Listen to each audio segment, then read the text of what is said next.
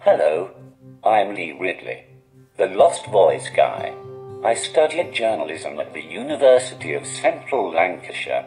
Last year I was the first comedian to win Britain's Got Talent. Yes, even Simon Cowell liked laughing at the disabled person.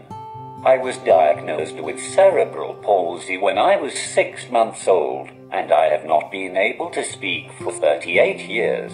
So when you plan, asked me to make a film about the importance of the student voice, I was speechless. How could I say no? The National Student Survey, or NSS, is about student satisfaction. The results of the survey inform future students about your course. Everyone has a voice. I tried looking for mine everywhere. Behind the sofa, in the washing machine, in 53 degrees.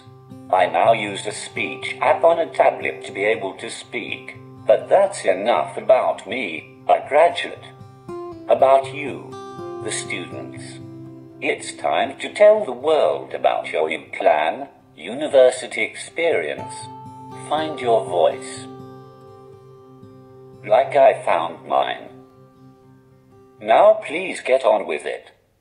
I'm running out of battery.